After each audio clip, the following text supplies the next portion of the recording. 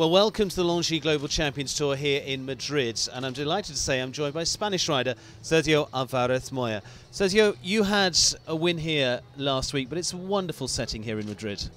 Yeah, obviously it's one of the best uh, globals, I think, and uh, in fact, being in Spain uh, is even makes it more uh, exciting for the Spanish riders. Madrid show's been here for many years, well over 100 years, but how important is it for you and for Spanish riders as a whole to have this as part of the Longines Global Champions Tour now?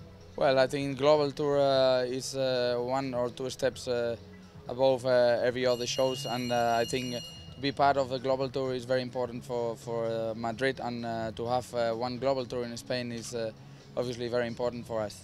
We've seen a global tour in Spain for a number of years, but the setting here as part of an established event with big crowds must give you and all the other riders a huge boost.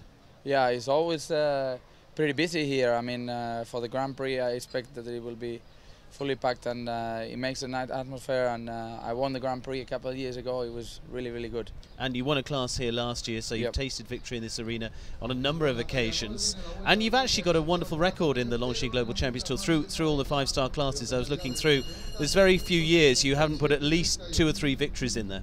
Yeah it's been okay and it's been good uh, for the last few years. I never won a Grand Prix global Grand Prix but I'll try I'll try hard.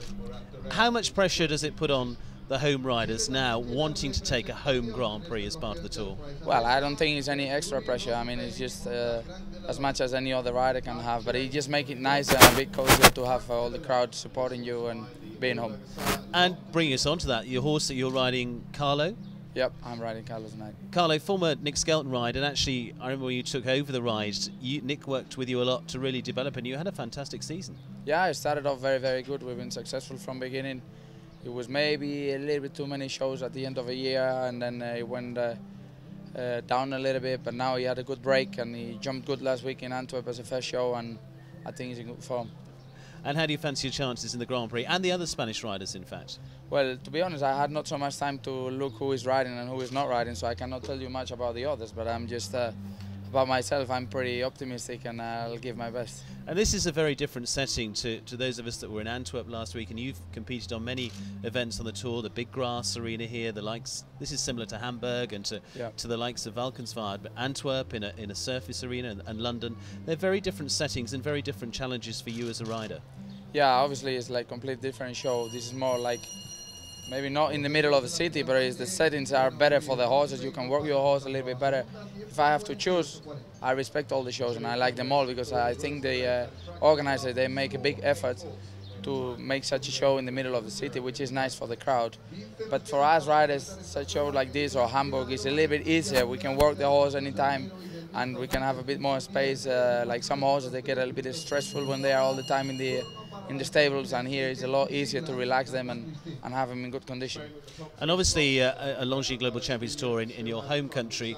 Tell me a little bit about your base here in Spain. Uh, where I live, you mean? Mm. Well, I'm uh, based for a few years already in La Coruña, where we have uh, two shows, two international shows. Uh, it's about 600 kilometers away from me. Spain is quite a big land.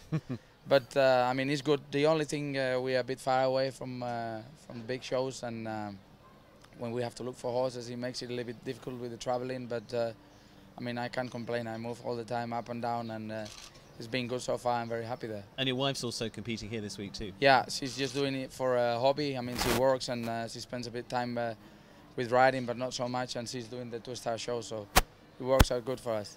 And what about the rest of your string? We've seen a, a Spanish win already this season for you with Zipper in the Grand Prix.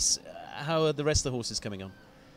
Well, I've got Tripper that I jumped yesterday in uh, Nations Cup in Lummen, and uh, then maybe Action Breaker is, is jumping again. I, I hope uh, he stays sound and uh, he will he will be a, a huge uh, help for the other horses because he can jump any Grand Prix in the world. And then I got some young ones, some young ones that they are really pointing good. I have one seven-year-old, which I'm very optimistic with him. And who, aside from yourself, the other Spanish riders we should be looking out for in this Grand Prix? Well, from the Spanish one, I don't really know that. As I told you before, I don't know who is riding because I just arrived from uh, Belgium this morning, and I don't really know who is riding or who is not riding. But so, turning that around a little bit, who would you be your big rivals back here in Spain? Who would be the person that you've you've most had a duel with, if you like? Well, I don't know. It's difficult to say. Actually, it's not really. I don't really have anyone like I can say But uh, I think uh, got some good riders when they have the right horse and the right moment. They can they can also try to win the Grand Prix and and be successful. So hopefully a Spanish win, but we'll see how it goes. I hope so. Sergio, very good luck. Thank you. Thank you.